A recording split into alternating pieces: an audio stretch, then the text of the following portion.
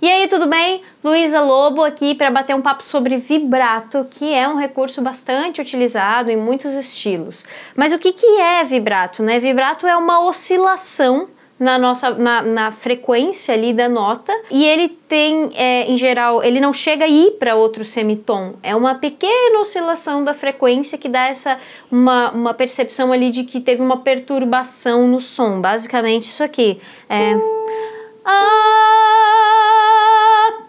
dá para ouvir né não fica o tempo não eu sem vibrato ficaria ah, com o vibrato ah, Dá para perceber? E tem uma coisa importante a respeito de vibrato. Algumas pessoas querem aprender vibrato, mas é legal você ver se esse recurso se aplica no seu estilo. Por que, que, é importante? Porque o vibrato ele tem essas características de às vezes ele ter essa variação na frequência um pouco maior ou um pouco menor e a velocidade dele, dele ser às vezes um pouco mais rápido ou um pouco mais lento. E cada estilo traz essas características mais peculiares do vibrato. Para quem tem muita dificuldade de fazer vibrato, eu sempre recomendo começar por exercícios que sejam mais leves uh, buscando, buscando trazer essa sensação de oscilação na voz.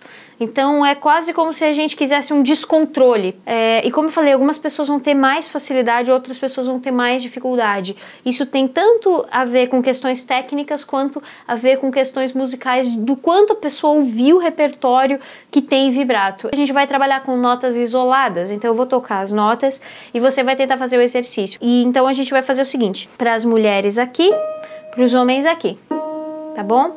Então a gente vai fazer como se a gente tivesse, uh, sabe assim, tipo aqueles carros velhos assim que estão pegando no tranco ou aquela moto barulhenta no trânsito. A gente vai fazer isso aqui, ó. A gente vai fazer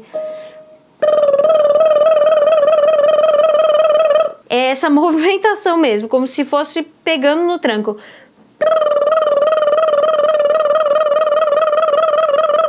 Parece que tudo vai se mexendo assim, sabe? Então, mulheres aqui.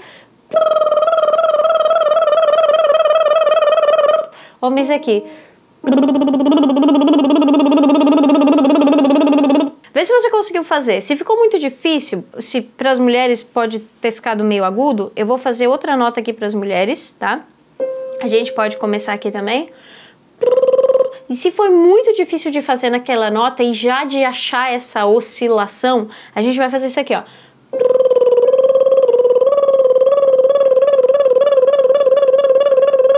Beleza? E os homens, aqui, ó.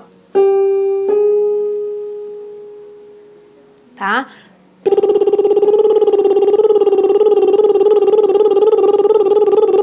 A ideia não é um vibrato ainda. A ideia é conseguir trazer essa oscilação para voz.